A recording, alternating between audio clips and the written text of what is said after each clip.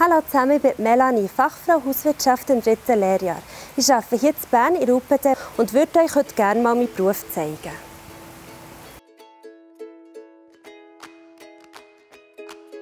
Für Fachfrau Hauswirtschaftslehre musst du flexibel sein, du musst gerne mit Menschen zusammenarbeiten, du sollst körperlich gut belastbar sein und in verschiedenen Teams arbeiten.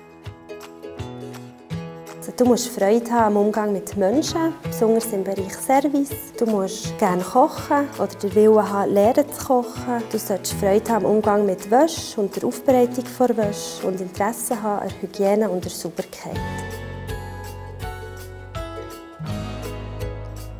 Hier oben ist halt das Coole daran, dass du nie alleine bist, dass du mit verschiedenen Lernenden und auch mit anderen Lernenden von Fachfrau Hauswirtschaft alle zwei Wochen kannst zusammenhocken und Theorie und Praxis kannst verbinden und kannst üben für deine Abschlussprüfung.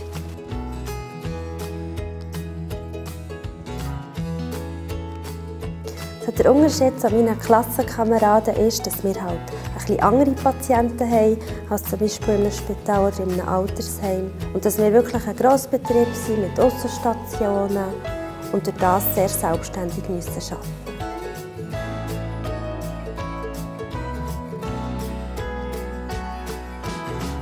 Ihr habt gesehen, ja wirklich ganz spannenden und abwechslungsreichen Beruf.